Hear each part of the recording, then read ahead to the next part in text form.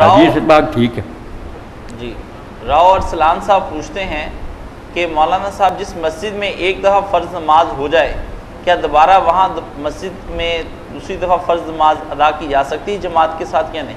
यानी दूसरी जमात के अरसलान साहब अगर तो लोग इसको आदत बना लें ये फ़ैशन ही बन जाए कि लोग कुछ लोगों ने जमात की फिर आए उन्होंने कर ली हैं?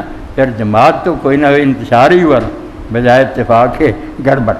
बाई चांस हो जाए ना किसी वजह से कुछ लोग रह गए कोई जनाजे में चले फिर वो कभी कभार छुप छुपा कर एक ही तो राई के बराबर सबूत मिलता।